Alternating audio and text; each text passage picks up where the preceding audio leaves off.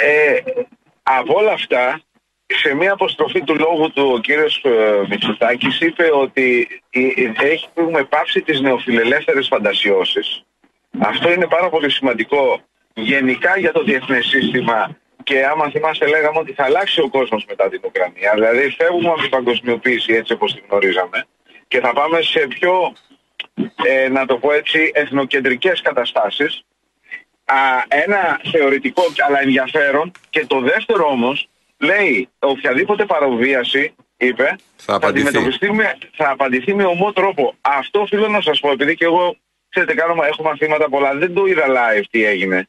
Εάν αυτό σημαίνει αυτό, α, εγώ νομίζω ότι αν είναι αυτό που νομίζω ότι είναι είναι το πιο σημαντικό από όλα. Ε, δηλαδή, επειδή, το εάν ο έβλεπα, ένας επειδή το πρωθυπουργός- έβλεπα, συγγνώμη, η αναφορά είχε να κάνει με τις νεοφιλελεύθερες φαντασιώσεις απολυταρχικών ηγετών. Βάζοντας Μάλιστα. δηλαδή στο κάδρο το προφανώς τον Έταγη Περντογάν. Ακριβώς αυτό λέω. Αυτό είναι μια συγκεκαλυμμένη νομίζω τοποθέτηση την οποία η, η προσωπική μου άποψη είναι ότι έπρεπε να είναι ξεκάθαρη. Αλλά είναι συγκεκαλυμμένη το οποίο είναι μια... Δηλαδή το ότι ένας πρωθυπουργός βγήκε και είπε ότι θα απαντήσουμε γιατί αυτό νομίζω ότι προσπαθεί να πει με έναν πολύ διπλωματικό τρόπο ε, είναι πολύ σημαντικό και να το ξεκαθάρισε στους ε, Αμερικανούς ε, Για συμμάχους. να πει Γιώργο αυτό το οποίο είπε δημόσια και παρουσία του Αμερικανού Προέδρου, της Προέδρου του Κογκρέσου, του Προέδρου της Επιτροπής, της πανίσχυρης Επιτροπής Εξωτερικών ε, και Άμυνας έτσι, των Ηνωμένων Πολιτειών του Μενέντες, φαντάσου ότι υπόθηκε στην κατηδίαν συνάντηση. Αυτό δηλαδή είναι αυτό νομίζω από όλα δημοσίως γιατί τα άλλα λίγο πολύ τα γνωρίζαμε. ε, τι- τι- είμαστε όντως στο καλύτερο σημείο διότι η Ελλάδα έχει γίνει μια τεράστια αμερικανική βάση και κέντρο διοικητικής μερίμνης για την Ανατολική Ευρώπη. Τι άλλο θα μας λέγανε οι Αμερικανοί. Αλλά αυτό Υπάρχει Είναι- κάποιο αίτημα των Αμερικανών που εκκρεμεί, συγγνώμη που ρωτάω.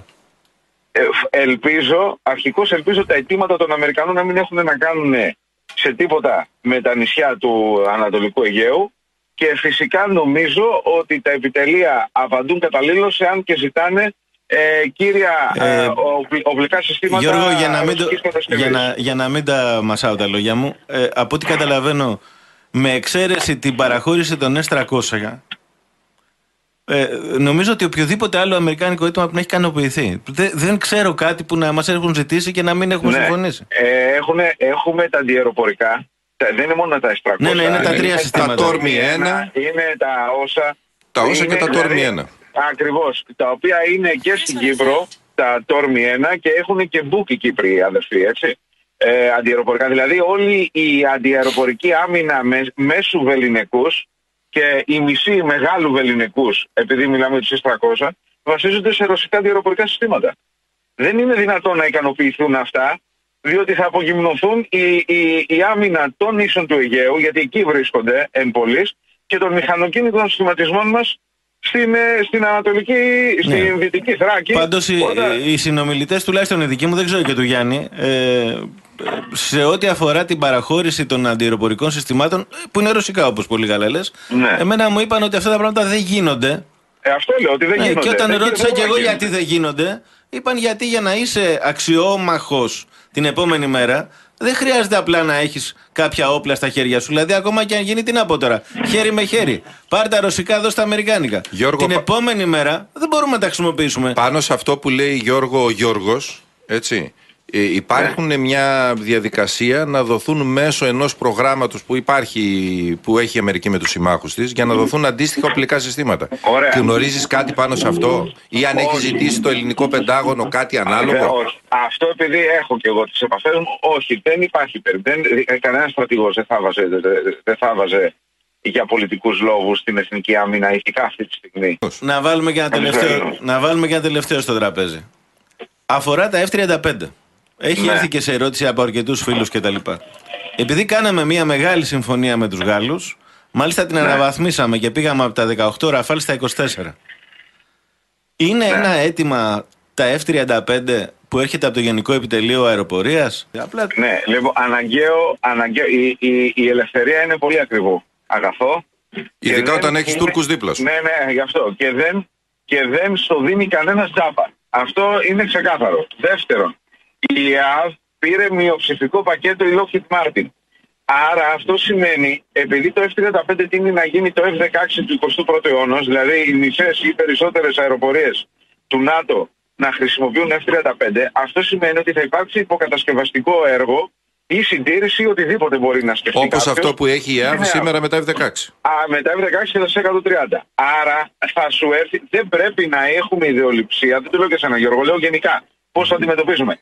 Η, η, η αμυντική βιομηχανία είναι, είναι ένας από τους πιο, εάν είναι απτυγμένη, βασικούς πόρους εσόδων μιας χώρας.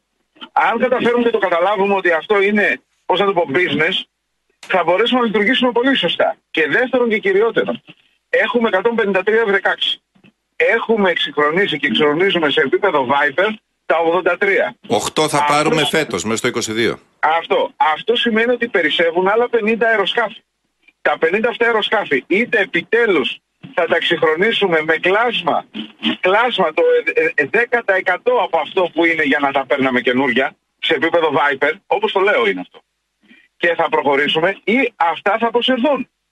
Όταν θα έχεις στο αμέσως επόμενο χρονικό διάστημα να αποσύρεις 50 F-16, εάν είπαμε έτσι, εάν δεν εξυγχρονιστούν ή τουλάχιστον τα 38 τα πιο παλιά, τα 30 που είχε πάρει ο Παπανδρέου και αν έχουμε να αποσύρουμε και Phantom παρακαλώ, που έχουμε ακόμα μία μοίρα Phantom που κάνει τη δουλειά της φυσικά, αλλά είναι Phantom, είναι δεκαετία του 60, δηλαδή η πολεμική μας αεροπορία το αμέσως επόμενο χρονικό διάστημα θα χρειαστεί, εγώ δεν σας λέω ένα προς Με ένα. δύο αντικατάσταση. κουβέντες μας λες ότι τα, τα F-35 είναι μπροστά μας Θα χρειαστούν ούτως ή άλλως. 40. Είναι, έχει λογική. Δηλαδή θέλω να σας πω έχει λογική. Τώρα για το επιχειρησιακό εγώ αυτό που μπορώ να πω είναι ότι χρειαζόμαστε νομίζω κατά την άποψή μου μία μοίρα ακόμα Ραφάλ και ας μείνουμε ε, στη μία μοίρα F-35. Ε, ε, F-35. 35. Αλλά σε κάθε περίπτωση Για μία μοίρα, Μία για τε- μία μοίρα μίλησε Ακούς. και ο Πρωθυπουργός της. Για μία Ναι, μοίρα α, μίλησε. Να πω όμως κάτι και κατα... σεβόμενος του χρόνου σας αλλά είναι κρίσιμο.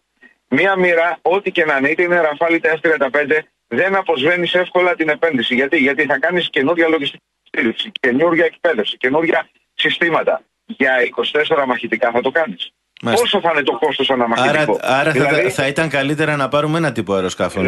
ε, όχι, α- αυτό δεν το πιστεύω γιατί απεδείχθη πλέον ιστορικός ότι καλό είναι τα, μα- οι- τα μαχητικά εχμής μας να είναι από δύο και διαφορετικές πηγές. Γιατί Βλέπετε οι τι Τούρκοι, να παθαίνουν σας οι Τούρκοι τώρα. θυμίσω, Επειδή Γιώργο, έχουμε τα Γιώργο μοιράζ. ότι οι Ακριβώς. Τούρκοι Δεν δεν πρέπει να έχουν. πάμε πο- τον δε- Βίκτορα. Το, το ότι δεν Ακριβώς. είχαν μοιράζ ήταν ένα μειονέκτημα για αυτούς στον αέρα. Ναι, ναι, ναι, ναι. Αλλά ένα Και- τελευταίο να πω, Γιώργο, πριν φύγουμε, Ναι. και Γιώργο Χουδαλάκη και Γιώργο Φίλη και Ιωσήφ Καλαμαράκη, ε, αυτό που έχουμε αφήσει είναι την αναφορά του Πρωθυπουργού στο Κυπριακό. Ήταν πολύ ξεκάθαρη ότι πρέπει η λύση να δοθεί με τα συ- ψηφίσματα του Συμβουλίου Ασφαλείας και δεν μπορεί να γίνει αποδεκτό δύο κράτη. Σωστό. Σωστό και έπρεπε, έπρεπε να υποθεί. Κοιτάξτε, συμφωνώ. Και μιλάμε, εγώ συγγνώμη, ξέρω- σε έναν άνθρωπο ο οποίος το ξέρει πολύ καλά το Κυπριακό. Για τον Biden. Ακριβώς.